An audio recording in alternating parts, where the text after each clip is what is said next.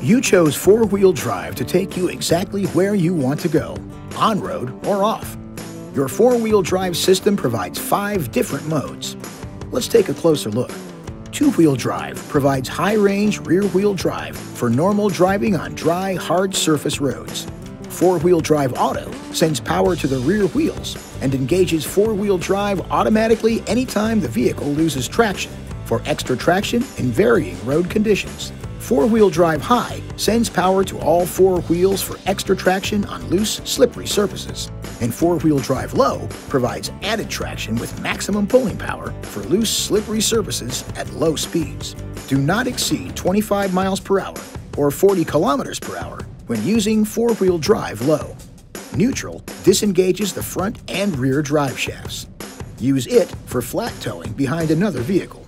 To shift from two-wheel drive to four-wheel drive, use the four-wheel drive control to select the desired position. You can shift between two-wheel drive and four-wheel drive auto or four-wheel drive high, whether you're stopped or driving.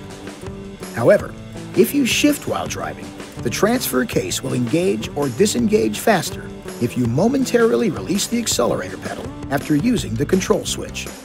When stopped, you can't shift unless the ignition is in the on-run position.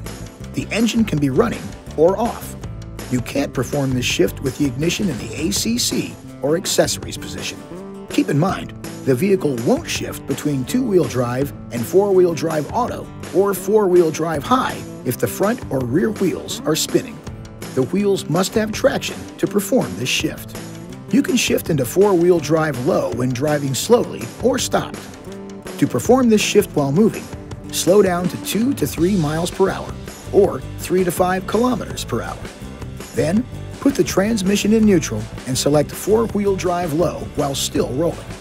If you want to perform this shift while stopped, put the ignition into the on-run position and shift the transmission into neutral. Select four-wheel drive low, then shift the transmission back into gear. You may hear some gear noise when shifting in or out of four-wheel drive low. This noise is a safe part of normal operation. This video is not intended to take the place of your owner's manual. For complete details and other important safety information, please see your owner's information.